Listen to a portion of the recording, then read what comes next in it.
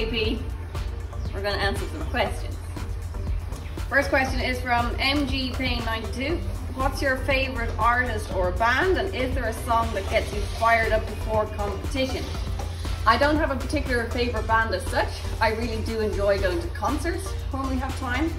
Patrick and I enjoy going to the likes of Bruno Mars, um, Michael Bublé, Pink. The only music I listen to before competition is my freestyle if we're about to ride the freestyle to music. Otherwise, it's peace and quiet and, and really focus. Next question is from R Gray 11805. With young horses, what do you feel is the best foundation? So with young horses, trust and confidence from the horse are really two of the most important things. The horse has to trust that you're not going to ask him a question that he's not capable of answering, that he doesn't have the skills to answer, and he has to be confident in his work. Um, also, basics, basics, basics, basics about everything. So really getting the ability to, to stop and to go, turn left, turn right, straight lines, corners, circles. Um, and when you go to a competition, um, with a young horse, initially we're not so focused on on winning. We're just focused on giving the horses good experience, getting them to like the idea of going to shows, that they start having fun at shows. And initially, we're not too worried if they if they you know come at the front of the line or in the middle of the line. We just want them to build happy experiences. You are the most annoying horse ever. Okay, next question is from Rebecca Keen Dressage. What is your favorite movement to ride? For me, I love to ride and I love to train the canter pirouettes. I really love the, you know, over the over the years of training, developing the ability of the horse to really collect in the canter and then teaching them to, to canter on this tiny little circle on the, you know, virtually staying on the spot. That's, that's my favorite movement. Um, I think JP's favorite movement here is probably passaging. Um, he loves to do it. You just set him off into passage and he'll he'll just keep doing it for for ages and ages. That's his favorite. Next question is from Nikita Ware.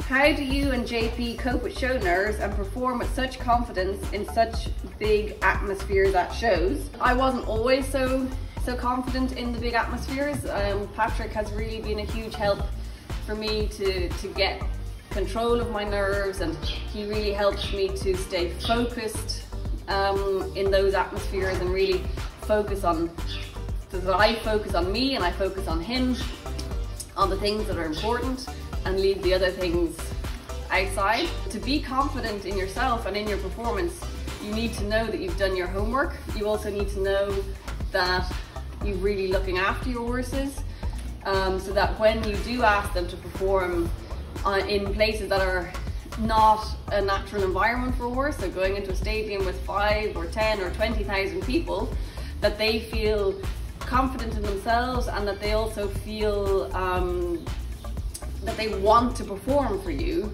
That's really important. And we, we are very confident in the fact that we have, we have happy, healthy horses who want to work for us, who do it because they enjoy it. And um, then we can really have fun together and we can, we can perform on the biggest stages. This question is from Helen Ditchkiss. Does JP like to go for a hack? Hi Helen. Helen is a big fan of JP and uh, we've actually met Helen at a couple of shows and we really enjoy that. JP does like to go for a hack. He actually really likes to go for a hack. He gets very excited though and JP is, as a lot of you know, an extrovert with his emotions. So he he lets it all out when he's out hacking and uh, it can mean we have piaffe and cantering backwards and sideways and all sorts of things. So he has great fun. Um, me sometimes not so much, but we enjoy it anyway. Next question is from Caroline Barber. What got you into dressage and did you always want to get to the top of the sport? So when I was uh, riding ponies, I was very competitive and used to compete in every class I could at the shows. So at some point this involved doing some dressage and I qualified for our national championships and decided I needed to maybe get a lesson or two, my phone. And uh, was instantly fascinated by what horses could learn and what you could do with them when they were using their bodies in the right way. So I very quickly fell in love with dressage. Um, I am a very competitive person, so if I do something, I like to do it to win and do it to the best of my ability. So uh, I guess yes, I always did want to get to the top of the sport. Next question is from Tanya English. Do you ever jump at home as an exercise? Yes, we do try and include lots of variety for our horses, so jumping is a part of that. JP here does love to have a little bit of a jump. Um, obviously, we don't jump them very big, but we use it as a gymnastic exercise. So we will do sometimes a little bit of um, like little grids, um, a couple of little fences, and uh, most of them really have fun doing it, JP in particular. Um, I used to have a horse who actually was a Grand Prix horse, remember? Uh, he, he was very funny. He would come up to the fence, stop, snort, and then jump over it with all four legs in the air at once, so like a helicopter. Uh, but even he had fun doing it, and you know, even if they're not the most talented at it, if they have fun, we like to do it for the variety, along with hacking out and lunging, and, and we keep as many different things for the horses, uh, exercise-wise, to, to keep them happy and healthy. Next question is from Darby Savoca. What was your first Grand Prix test like? Wow, yeah, first Grand Prix test. That would have been when I was living and competing down in Bavaria in the south of Germany. Um, when I first came to Germany.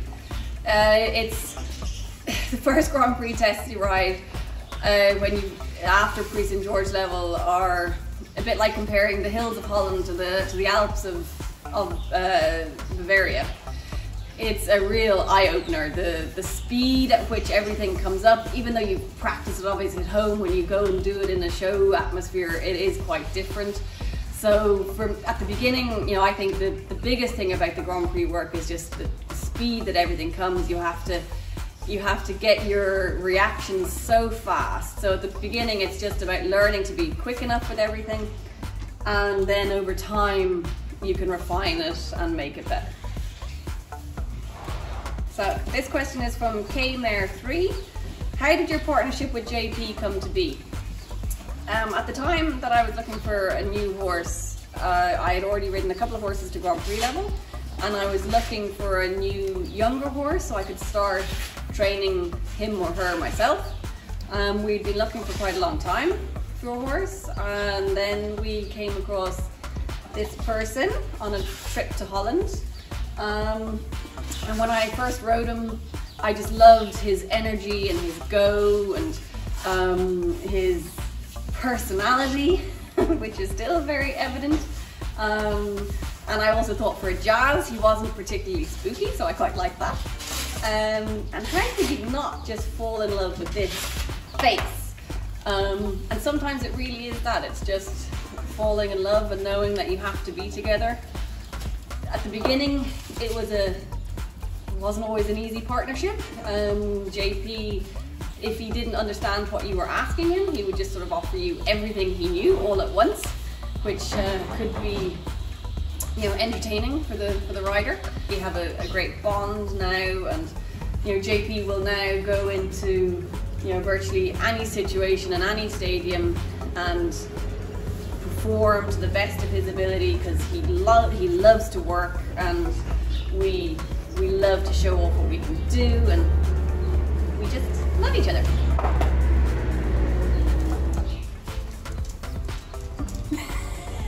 This question is from Strides. What's it like being one of the international dressage riders from Ireland?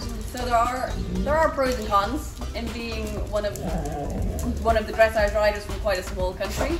Um, certainly at the beginning, when I first came to or first was competing internationally, having competed in Ireland was probably gave me a false sense of security because of the because there wasn't so much competition. Um, I probably thought I was better than I was.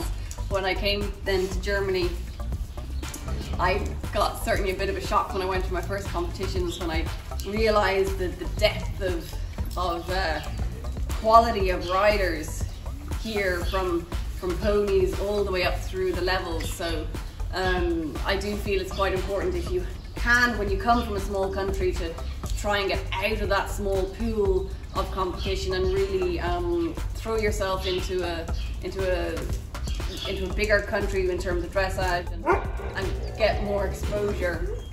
So I think that's important. Um, but saying that, you know, the the enthusiasm for dressage in Ireland is huge at the moment and we are getting better and better all the time. Down, down, down. Um, and that can really be seen last year at the European Championships where the girls in green qualified the first dressage team for Ireland for the Olympics. Um, so we are really looking forward to, getting to get into the Olympics next year, um, showing them what Ireland can do at this level. Thank you for all your great questions. JP and I really enjoyed answering them and we really look forward to seeing you all soon and we hope you all stay healthy and happy and safe. Bye!